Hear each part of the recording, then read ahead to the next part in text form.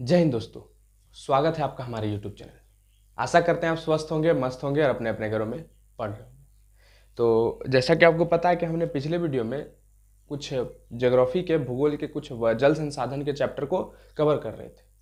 जिसमें हमने पिछले वीडियो में जल संसार प्रबंधन से पहले के जितने भी टॉपिक थे, उसको अच्छे से कवर किया। और आज के वीडियो में हम जल संसार, जल संचार प्रबंधन के बारे में जानेंगे वाटर शेड मैनेजमेंट के बारे में जानेंगे। कि क्यों वाटर सेड मैनेजमेंट ज़रूरी है?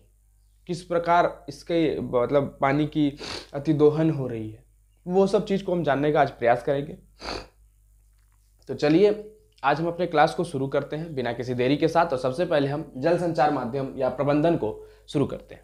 देखिए, उद्योग की वजह से जो मृदु जल है, आज उद्योग छोड़िए। किसी भी कारण, आज हम लोग कुछ भी करेंगे तो उस पानी का उपयोग करेंगे। बिना पानी का उपयोग किए हुए कोई भी चीज़ का हम आज उपयोग कर ही नहीं सकते। अगर पानी का उपयोग किए बिना हम कोई चीज़ करेंगे तो हो सकता है वो कोई सॉलिड पदार्थ ही है, अन्यथा पानी का उपयोग किए बिना कुछ भी आज के डेट में संभव नहीं है। घरेलू कार्य में आज जितना पानी यूज़ हो रहा है, शायद वो कहीं किसी भी चीज़ में पानी का उपयोग नहीं हो रहा है। और यूज़ तो छोड़ दीजिए, अति दोहन हो रहा है पानी का। इसका मतलब अगर बोला जाए तो पानी का क्या हो रहा है? अति दोहन कहने का मतलब अति दोहन कहने का मतलब हुआ पानी बहुत ही तगड़ा तरीका से वेस्ट हो रहा है। पानी बहुत ही तगड़ा तरीका से क्या हो रहा है? वेस्ट हो रहा है। तो उद्योग की वजह से मृदु जल पर दबाव बढ़ रहा है। क्या हो रहा है? उद्योग की वजह से मृदु जल पर दबाव बढ़ रहा है। मतलब जो सरफेस है, क्या है? जो सरफेस है हमारा उस पर पानी की मात्रा, पानी की मात्रा अगर बढ़ रही है या घट रही है तो वो सिर्फ़ उद्योग की वजह से। मतलब आज जो हमारा सरफेस है, क्या हो? सरफेस है, उस सरफेस में मृदु जल बढ़ रही है। मृदु जल की जो दबाव है वो बढ़ रही है, क्योंकि सरफेस पर जल जो है वो धीरे धीरे घटते जा रहा है, क्योंकि उद्योग में अति दोहन हो रहा है। उद्योग में पानी का क्या हो रहा है? अति दोहन हो रहा है, बहुत ही तगड़ा तरीका से पानी का वेस्टेज हो रहा है। अगर हम बात करें तो भारत में कुल विद्युत का लगभग 22 परसेंट भाग जल विद्युत से प्राप्त होता है। भारत में क्या बात करें कि भारत में कुल विद्युत का लगभग 22 परसेंट भाग जो है जल विद्युत से प्राप्त होता है। किससे प्राप्त होता है? जल विद्युत से प्राप्त होता है। और आज अगर जल की बर्बादी अगर सबसे ज़्यादा कहीं है तो वो शहर के कारण भी है। क्योंकि शहर में बढ़ती आबादी जो है, जल की जल की क्या समानुपात है? जल की बर्बादी की समानुपात है। अगर बढ़ रही है शहर में आबादी तो वो किसके समानुपात है? वो समानुपात है तो बर्बादी का। किसके आबादी का? तो बर्बादी का। क्योंकि पानी अगर बर्बाद हो रहा है तो वो सिर्फ़ और सिर्फ़ शहर के कारण बर्बाद हो रहा है। अन्यथा नहीं होगा बर्बाद। ठीक है? अब बात आता है जल का भंडारण।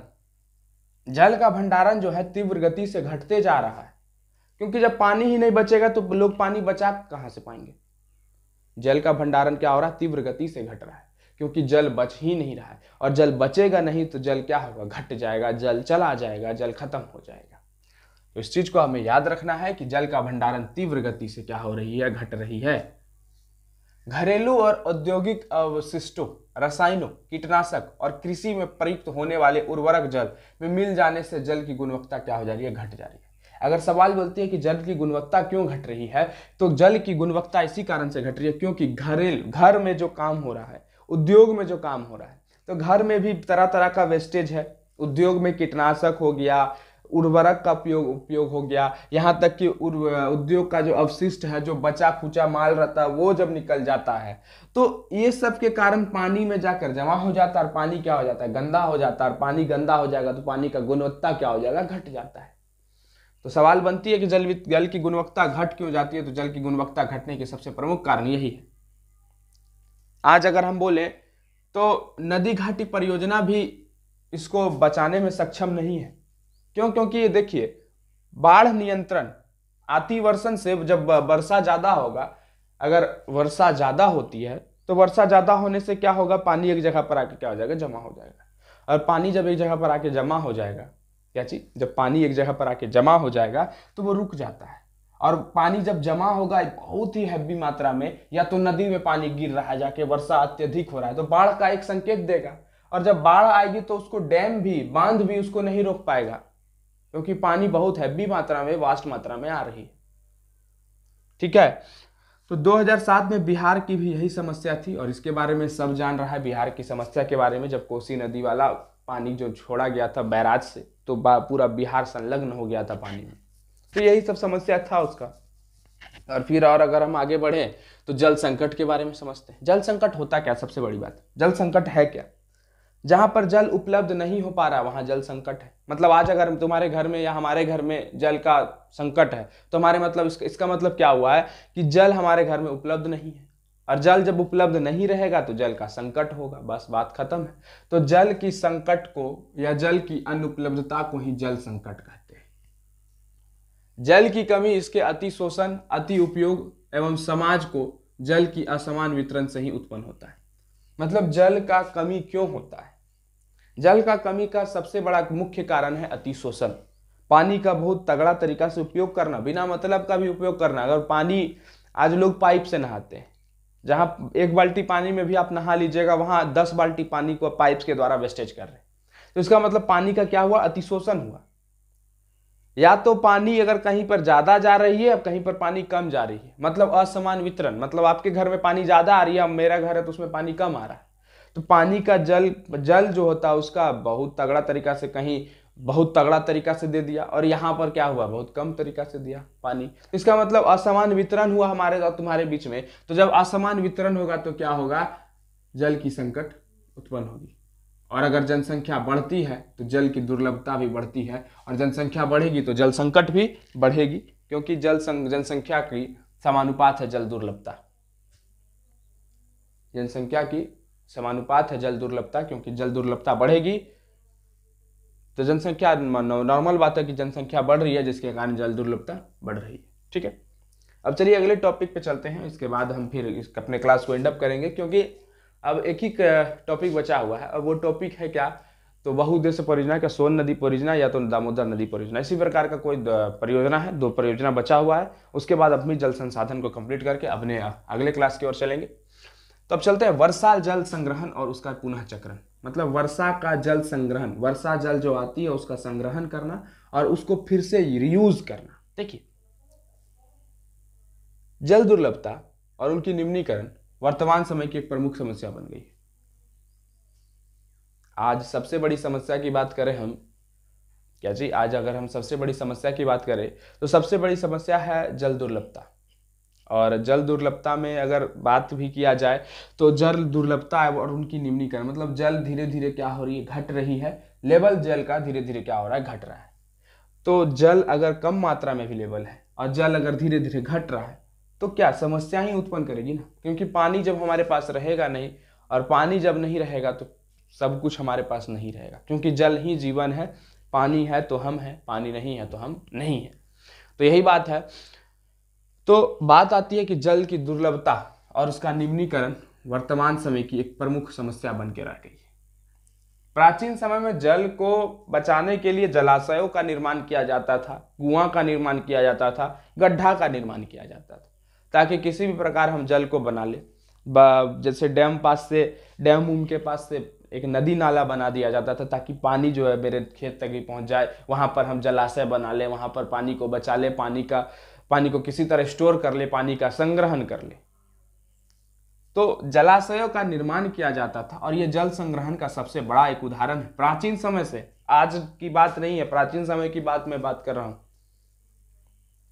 पहाड़ी क्षेत्रों में गुल अथवा कुल जैसे नदी की धार का रास्ता बदलकर जैसे पहाड़ी क्षेत्र जैसे लद्दाख वगैरह अगर हम बात करें, पहाड़ी क्षेत्र में लद्दाख हो गया, हिमाचल प्रदेश हो गया, जम्मू कश्मीर वगैरह हो गया, ये सब की अगर हम बात करें तो वहाँ गुल अथवा कुल एक जो पद्धति है, उसको अपनाया जाता है। और उस पद्धति के द्वारा क्या होता है कि जैसे ये नदी है तो इस नदी के ज़रिए यहाँ से पानी को इस प्रकार से निकाल लिया जाता है और इस नदी से छोटा मोटा एक नाला बनाकर अपने खेतों तक लेके जाया जाता है और वहाँ पर सिंचाई की जाती है। तो उसको क्या कहते हैं? उसको गुल अथवा क्या कहते हैं? कुल कहते हैं। इस चीज़ को भी याद रखना है। वर्षा जल संग्रहण भी सबसे इम्पोर्टेंट है क्योंकि वर्षा जल संग्रह संग, संग्रहण भी एक प्रक्रिया है और वो प्रक्रिया होता कैसे देखिए अपने अपने छत पर जो है लोग क्या करते हैं? एक छत पर चारों बगल से जो रेलिंग होता है वो तो लगा ही देते हैं। और छत पर जब वर्षा पड़ती है तो एक जगह पर आके जमा हो जाती है। तो जब पानी एक जगह पर आके जमा होती है तो एक पाइप के ज़रिए उस पानी को ज़मीन में नीचे भेज देते ताकि ज़मीन का भी लेयर क्या हो, खत्म ना हो और उस छत से वर्षा का पानी नीचे चला जाता है। तो वर्षा का जल संग्रहण हुआ और पानी जो है छत पर से नीचे आ गया। तो वर्षा जल संग्रहण में जो सबसे बड़ा भूमिका निभाता है वो राजस्थान है, इसका उदाहरण, सबसे बढ़िया उदाहरण अगर बात करें तो राजस्थान इसके उदाहरण में सबसे बढ़िया उदाहरण है। वर्षा जल संग्रहण के लिए गड्ढों का निर्माण भी जिसे जैसे जैसलमेर में खादिन तथा जोहड़ कहते हैं। देखिए वर्षा जल संग्रहण में सबसे आगे भी अगर बात करें तो राजस्थान का जैसलमेर है और जैसलमेर में वर्षा का जल संग्रहण को हम खादिन कहते हैं। क्या कहते हैं? खादिन कहते हैं। या अन्य क्षेत्र में उसे जोहड़ कहा जाता है। अन्य क्षेत्र में उसे क्या कहा जाता है? अन्य क्षेत्र में उसे जोहड़ कहा जाता है। तो इस चीज़ को हमें याद रखना है, क्योंकि यही हमको याद, एग्ज़ाम में सवाल पूछा जाएगा कि जैसलमेर में वर्षा जल संग्रहण को क्या कहा जाता है? तो खादिन कहा जाता है। उसके बाद जोहड़ किसको कहा जाता है? तो अन्य क्षेत्रों में वर्षा जल संग्रहण को ही जोहड़ कहा जाता है। यहाँ तक कि टैंक पद्धति भी अपनाया जाता है। अब टैंक पद्धति क्या है? देखिए, टैंक पद्धति का मतलब होता है जैसे आप अपने छत पर रेलिंग है, रेलिंग पर पानी पड़ रहा है छत पर, और पानी एक जगह पर आके क्या हो रहा है? जमा हो रहा है। तो इस पाइप के ज़रिए पानी क्या हो रही है? ज़मीन के नीचे जा रही है। तो ज़मीन के नीचे ना जाते हुए बसरते वहाँ पर ज़मीन के नीचे एक टैंक बना दिया जाता है। चार, नीचे चारों बगल से टीना का या चदरा का इस प्रकार से बना दिया जाता है ताकि पानी उस जगह पर जाके जमा हो जाए और उस पानी का फिर से हम उपयोग कर सकें। इसलिए उसे टैंक पद्धति कहा जाता है और इस टैंक पद्धति का उपयोग किया जाता है। इसमें सबसे ज़्यादा फ़ेमस अगर बोले तो कर्नाटक का मैसूर है और इस टैंक पद्धति को टांका भी कहा जाता है। क्या कहा जाता है? टांका भी कहा जाता है। तो कर्नाटक का मैसूर में यह प्रचलित है टांका पद्धति। महाराष्ट्र में बात करें मध्य प्रदेश में बात करें राजस्थान में बात करें गुजरात में बात करें तो और आग भी, भी है। तो इस सब क्षेत्र में ज़्यादा टैंक पद्धति का उपयोग किया जाता है क्योंकि वर्षा ज़्यादा अधिक अत्यधिक होती है। मतलब वहाँ पे पानी की उपलब्धता बहुत ही कम है। तो यही था आज का हमारा क्लास क्योंकि इसके बाद हमारा परियोजना है सोन परियोजना दामोदर दामोदर वैली परियोजना। तो उसको एक क्लास लेंगे उसको ख़त्म करके हटा देंगे। और जल संसाधन हमारा आज कंप्लीट हो जाएगा। मतलब कल के वीडियो में जल संसाधन कंप्लीट हो जाएगा। उसके बाद हम फिर आगे के लेक्चर में देखेंगे। आगे भूगोल को और आगे बढ़ाएँगे, क्योंकि सबसे पहले मैं भूगोल के एक चैप्टर को कंप्लीट करने के पक्ष में हूँ। क्योंकि भूगोल अगर कंप्लीट हो जाता है तो हमारा बड़ा सिलेबस कंप्लीट हो जाएगा। उसके बाद तो इधर से हम कभी भी ख़त्म कर सकते हैं। तो चलिए, आज के लिए इतना ही रखते हैं। आशा करते हैं आप स्वस्थ होंगे। तो तब तक के लिए धन्यवाद। जय हिंद।